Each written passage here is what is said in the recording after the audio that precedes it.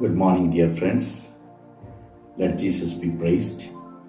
My dear friends, I would like to request all the youth, those who are studying in English medium school, we have made a prayer for youth. This year we are celebrating Youth Year 2021. 2020 we celebrated Year of Family. 2021 this year we are celebrating Youth Year. 2022 we are going to celebrate Environmental Year. 2023 we are going to celebrate Bible and Sacrament. And 2024 we are going to celebrate Mission Year. That is our golden year. And Bishop Dr. Sarat Chandra Nayak, the Bishop of Berhampur, has made a beautiful prayer us. And in our group it, we are praying that prayer. You must have God or you must have not God.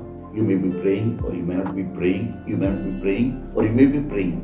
If you are praying, praise the Lord. If you are not praying, today onwards you pray. It's a beautiful prayer. I request all the youth of Berhampur diocese, other dioceses, even India, even in the world, you pray. So pray with me. Golden Jubilee of the Diocese of Berhampur 2024. Pray for the renewal of the youth. God Almighty Father, you sent your only Son to the world as man for the salvation of the humankind.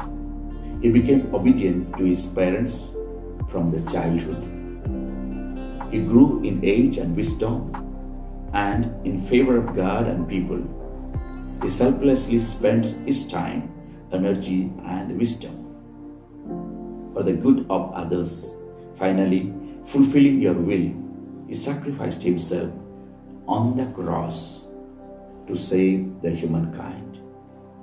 That is why you raised him for the dead and gave him the name above every other name.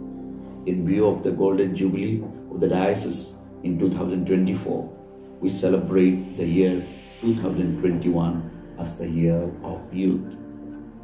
Grant every youth, O Father, the courage to love, freedom to stand for truth, and righteousness to do justice, so that they may dedicate themselves to realize the vision of the diocese to become a spirit filled, self reliant, and a serving community through Christ our Lord. Amen.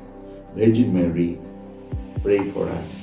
Saint Aloysius Gonzaga, patron of youth, pray for us. Saint Teresa of Child Jesus, pray for us.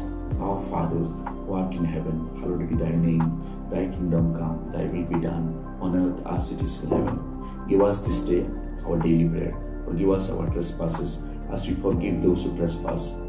Lead us not into temptation, but deliver us from evil. Amen. Hail Mary, full of grace, the Lord is with you. Blessed are you among women, and blessed is the fruit of womb, Jesus. Holy Mary, Mother of God, pray for us sinners, now and at the hour of our death. Amen. Glory be to the Father, and to the Son, and to the Holy Spirit. Amen. God bless you. God bless all the youth.